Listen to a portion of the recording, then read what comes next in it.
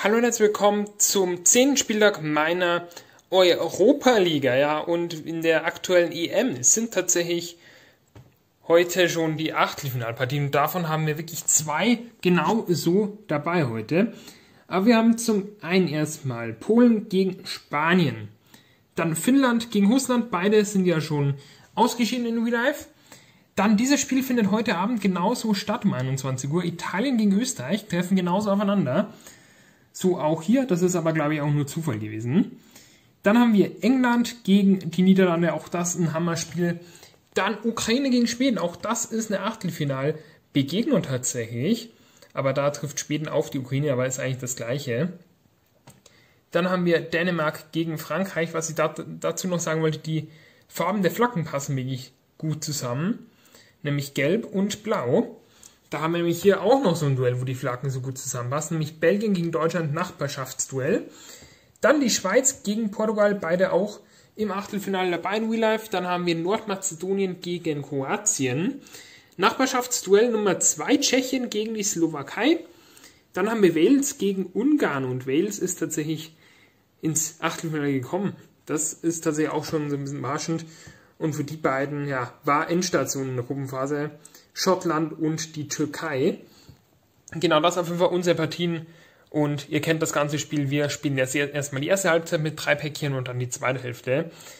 Genau, und somit würde ich sagen, starten wir in diese Konferenz. Wir beginnen mit der frühen 2 zu 0 Führung für Polen. Kamil Klik und Thomas Ketziora jeweils mit einem Tor, somit 2-0 für Polen bereits gegen Spanien. Dann der Doppelschlag für Deutschland. Frühes Torerlebnis durch Emre Can und Julian Draxler. Ja, Draxler gar nicht dabei. Es wird übrigens auch keine Update-Sticker geben zu dieser Serie. Nur die deutschen Spieler werden geupdatet, aber das sind so viele, dass gar nicht alle Platz haben im Sticker. Wenn man das finde ich nicht so gut von Panini, dass wir nicht die Update-Sticker für die anderen Teams auch haben. Deshalb werde ich mir das auch nicht holen. Auf jeden Fall Deutschland für 2-0 gegen Belgien und die Belgier weiterhin auf dem letzten Platz hier in dieser Liga. Da läuft es einfach überhaupt nicht. Dann haben wir nochmal einen von Polen, nämlich das ist der Torwart Wojciech Czesny.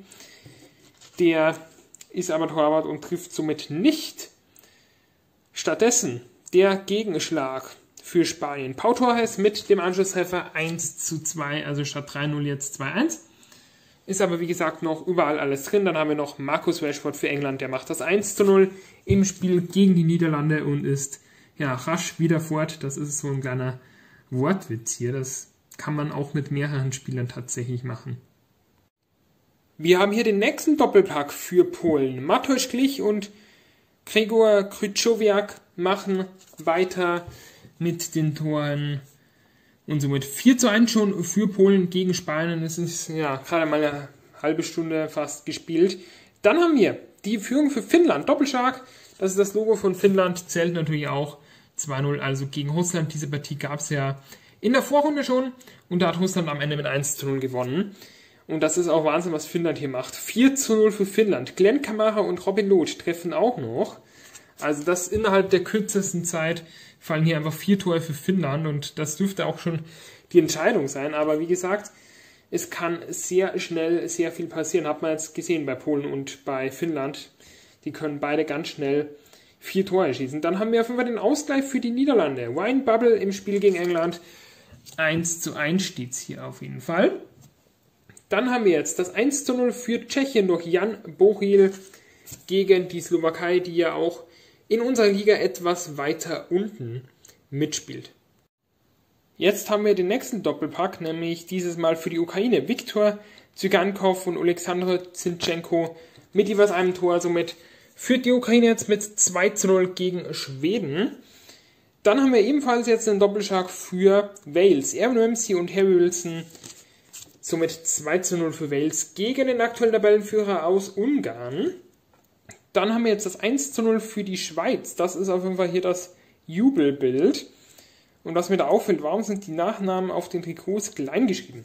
Das ist äh, Durchaus seltsam, aber wenn ihr das wisst, könnt ihr es gerne in den Kommentaren schreiben. Auf jeden Fall führt die Schweiz 1-0 gegen Portugal. Dann der Anschlusstreffer für Dala Kutsiaev. Für Russland natürlich. 1 zu 4 gegen ja, Finnland. Auch hier steht es 4 zu 1 tatsächlich. 2-4-1 Spiele aktuell. Und dann haben wir noch kurz vor der Halbzeitpause noch das Tor für Deutschland. 45 Minuten. Timo Werner mit dem 3 zu 0. Ich verstehe es nicht, warum man in Real Life bei Deutschland auf Timo Werner in der Stadt verzichtet. Also ich finde, man braucht einen Stürmer. Das hat man gesehen gegen Ungarn, aber auch gegen Frankreich zum Beispiel. Da hat einfach wirklich so ein Stoßstürmer gewählt. Somit Belgien schon total unter Zugzwang. Die liegen 3-0 hinten und wir haben tatsächlich vier Spiele aktuell, wo noch keine Tore gefallen sind. Aber das kann sich an der zweiten Hälfte noch ändern. Die zweite Halbzeit startet perfekt aus österreichischer Sicht. 2 zu 0 für Österreich. Das ist auf jeden Fall das Logo 2-0 gegen Italien somit vorne. Dann haben wir einen Doppelschlag für Nordmazedonien. Elia Nestrovski und Gohan Pandev mit jeweils einem Tor. Und Gohan Pandev ist tatsächlich der erste Spieler, der das erste Tor für Nordmazedonien geschossen hat bei einem großen Turnier. Nordmazedonien hat zum ersten Mal dabei gewesen und Pandev war der erste Torschütze. Ein Legendenspieler auf jeden Fall, der ja seine Karriere jetzt beenden wird in der Nationalmannschaft. Dann den Ausgleich haben wir jetzt für Portugal. Auch hier das Jubelbild. Das gibt es tatsächlich auch nicht oft, dass wir zwei Tore haben und beides ist das Jubelbild. Schweiz gegen Portugal 1 zu 1 auf der neue Spielstand. Ja, es fällt tatsächlich das fünfte Tor für Finnland. 5-1. Nikolai Alho macht das halbe Dutzend schon mal voll im Spiel gegen Russland. Und dann dreht tatsächlich Portugal das Spiel. Jose Fonte mit dem 2 zu 1 für Portugal gegen die Schweiz. Und somit gehen wir auch schon rein in die Schlusskonferenz. Und wir haben hier das nächste Logo am Start. Also so viele Logos hatten wir, glaube ich, noch nie in einer Folge 3 jetzt schon. Die Niederlande geht auf jeden Fall jetzt in Führung gegen England 3 zu 1. Also hier der neue Spielstand. Und ja, England war tatsächlich 1 zu 0 vorne. Dann haben wir das sechste Tor. Es ist Wahnsinn, was mit Finnland heute los ist. Wir haben Lukas Selecki, aber der macht ja kein Tor. Aber Yuka Reitala, der macht noch das 6 zu 1. Und schon langsam haben hier wirklich die Sticker nicht mehr Platz, weil wir hier so viele schon haben. 6-1 für Finnland gegen Russland. Das Spiel ist auf jeden Fall schon längst durch. Dann haben wir jetzt das 3 zu 0 für Wales. Auch das dürfte die Entscheidung sein. Ethan Empedu mit dem Tor. Und jetzt fällt auch das 3 zu 0 für Nordmazedonien durch Visa Muslio. Der macht gegen Kroatien das 3 zu 0. Und dann haben wir noch den Anschlusstreffer für Schweden. Da könnte es jetzt wieder spannend werden. Gustav Svensson zum 1 zu 2 gegen die Ukraine und somit haben wir noch ein Stickerpäckchen und ja, wir haben hier noch nichts gesehen bei Dänemark gegen Frankreich und auch noch nicht bei Schottland gegen die Türkei. Ich hoffe, da fallen auf jeden Fall noch Tore. Wir haben jetzt aber erstmal den Ausgleich für Schweden tatsächlich. Markus Berg zum 2 zu 2 gegen die Ukraine. Dann haben wir jetzt den Doppelschlag für Dänemark. Joachim Mele und Thomas Delaney, die treffen jetzt gegen Frankreich. 2 zu 0 die Führung jetzt. Ebenfalls das 2 zu 0 jetzt für die Tschechische Republik. Tschechien macht auf jeden Fall das 2 zu 0 gegen die Slowakei.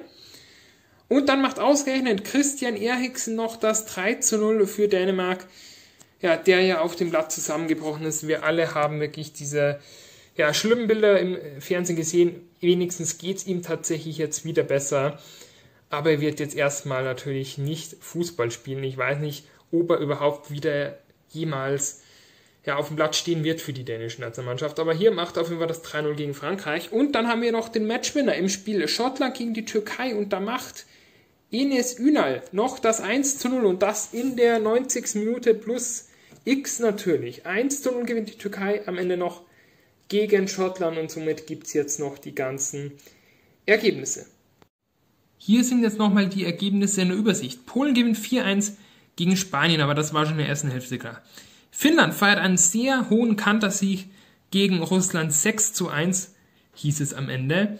Österreich gewinnt 2 zu 0 gegen Italien. Mal schauen, ob das heute Abend auch so passieren wird oder ob doch Italien der Favorit ins Viertelfinale einziehen wird. Dann haben wir die Niederlande, die gewinnen 3-1 gegen England. Dann Ukraine, Schweden ein 2 2, da hat die Ukraine aber schon 2-0 geführt. Dänemark gewinnt 3 0 und das in der Schlussphase gegen Frankreich. Deutschland gewinnt in der ersten Hälfte 3-0 gegen Belgien, die weiterhin auf dem letzten Platz bleiben. Dann haben wir Portugal, die gewinnt 2 1 nach Rückstand gegen die Schweiz. Nordmazedonien schlägt Kroatien mit 3 0. Tschechien gewinnt gegen die Slowakei mit 2 0. Wales schlägt den aktuellen Tabellenführer Ungarn mit 3 zu 0 und die Türkei gewinnt durch ein Tor in der 90. Minute oder in der Nachspielzeit noch gegen Schottland. Das die Ergebnisse und somit schauen wir jetzt auf die Tabelle. Nach dem 10. Spieltag ist Ungarn weiterhin auf Platz 1, aber der Vorsprung hat sich deutlich verhängert. Nur noch einen Punkt sind sie vor der Niederlande. Die jetzt hinter Ungarn sind, die haben 21 Punkte. Dann die Türkei hat 20 Punkte jetzt, die liegen auf Platz 3. Dann dahinter Dänemark und Schottland mit jeweils 18 Punkten. Wales hat 17 Punkte, dann haben wir Tschechien und Polen mit 16 Punkten. Schweden hat 15, dann im Mittelfeld Portugal, Österreich und Nordmazedonien mit jeweils 14 Zählern auf dem Konto.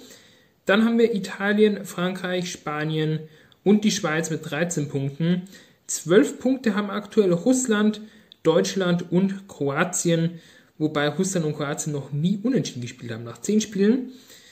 Muss man auch erstmal so hinbekommen. Und dann natürlich die Unterhaltszone, da haben wir die Ukraine mit 11 Punkten, Finnland mit 10 Punkten, England 9 Punkte, Slowakei 8 Punkte und Belgien weiterhin auf dem letzten Platz mit 5 Punkten. Das ist auf jeden Fall die aktuelle Tabelle. Den schlechtesten Angriff hat Deutschland mit nur sieben Toren. Die schlechteste Abwehr hingegen hat die Slowakei und Belgien. Den besten Angriff hat aktuell die Niederlande mit 20 Toren. Die beste Abwehr hat Schottland und Italien mit 8 Gegentoren. Das jetzt mal zur Statistik und somit sehen wir uns dann beim nächsten Spieltag wieder. Bis dann und ciao.